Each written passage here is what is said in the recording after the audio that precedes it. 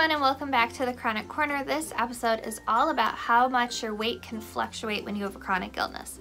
Now this is something personally that I've dealt with um, a lot throughout my chronic illness journey and I felt like there should be some more resources out there for it because I don't hear it talked about a lot. So initially, people, I think as society, we quickly judge people who gain a lot of weight as being negative and people who lose a lot of weight as being positive. Um, however, when you have chronic illness, it can be very difficult to not only um, keep weight on, but also lose weight. And there's a lot of different factors that can play into this. So it's important if you know someone with a chronic illness to not judge them for gaining or losing weight and try to understand what they're going through. It could be something very serious, you know, you never know. Personally, for me, I um, gained about 30 pounds in two months. Right when I was diagnosed, they put me on a new medication for POTS that I did not stay on for very long.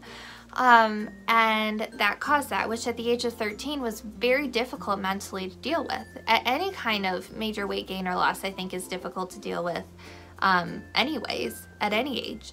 So there are a lot of different factors that can play in to weight gain and weight loss, especially when you have a chronic illness. Um, one is medications. There are quite a few antidepressants and steroids um, that I know of personally that can cause weight gain and it's very important to monitor that when you're on those.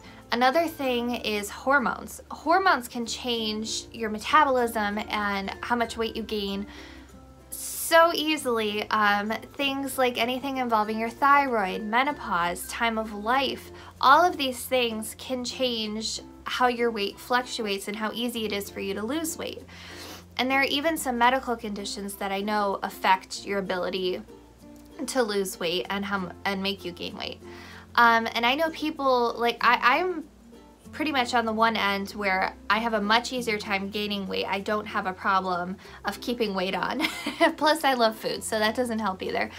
But I know people who have dysautonomia and chronic illnesses that cannot keep weight on, whether it be for GI issues that um, they have problems maintaining um, a full stomach.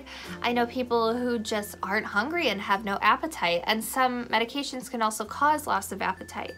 So there's a lot of different factors and then symptoms. I know personally for me, when I'm having GI issues, I usually will lose quite a bit of weight, probably like 10 to 15 pounds because I feel sick to my stomach all the time and nauseous and the last thing I want to do is think about food or eat. Whereas at the other end of the spectrum, say my fatigue is really bad and I'm in like a flare that lasts a few weeks to a month, then at that point, I don't have any energy to exercise and I'm eating normally. So yeah, you're gonna gain weight. If you're bedridden, you're gonna gain weight, you know?